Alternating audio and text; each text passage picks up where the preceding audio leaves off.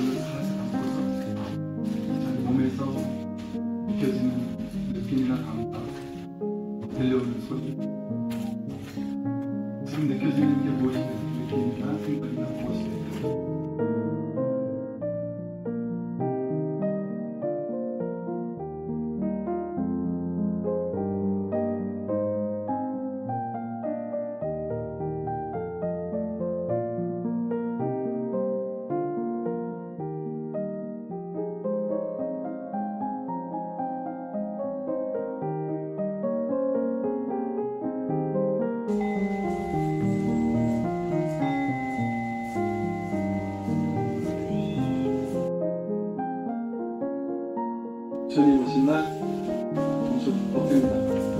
우리가 도대체 왜 괴로워지기 시작했는지 그리고 그 괴로움을 그 분별심을 없애고 좀 가볍게 살려면